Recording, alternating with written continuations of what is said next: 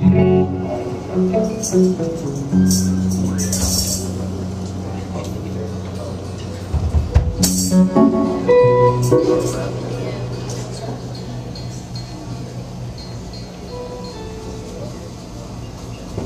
love the tavern in the beachland. I wish I had been married here. I might get divorced uh, just so that I can get married to, no, to a girlfriend.